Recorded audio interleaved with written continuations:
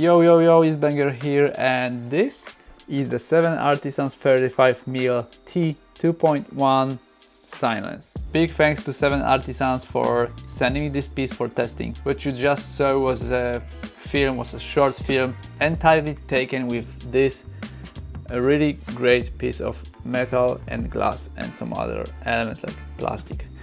So the entire short film was taken only with this 35mm and the idea for, for this short film was uh, kind of basic.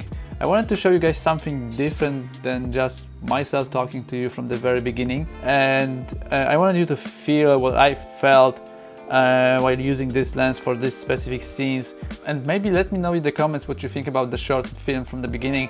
I would like to hear some of your thoughts and ideas uh, did you like it? Did you like the story? Did you like the the footage? I wanted the shots to be slow and deliberate so you can see all the details and nuances uh, related to the specs of this 35mm uh, cine lens. From a user perspective it is a fully manual lens and I didn't have any rig or even a follow focus so I like operate entirely manually using my fingers so uh, it wasn't hard to be honest it, it is a really nice lens you can feel the rings it's easy to maintain the focus uh, throughout the whole scene so that's uh, that's a great thing the ring works really smooth and it's you can really feel it. Large aperture of T2.1 works really well with close objects. I'm sure you noticed these uh, sequences where the background was really nicely uh, blurred. Uh, the bokeh is really smooth and, and tasty.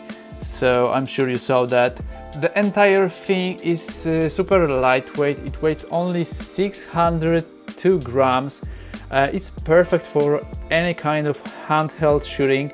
The price range of this standard cine lens is only $369 and what's more there are many many different packages you can get this lens in so uh, go to the 7 Artisans store and see the packages by yourself. You have two with three pieces with three lenses available and one with six lenses available and a bunch of cool stuff around that with the toolbox and stuff. So that would be the perfect starting point for anyone who's looking for a standard cine lens. So let me know in the comments what you think and I think this is it guys. Thanks for watching and I see you in the next one.